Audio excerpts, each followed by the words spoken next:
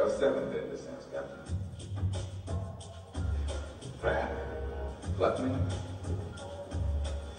greed,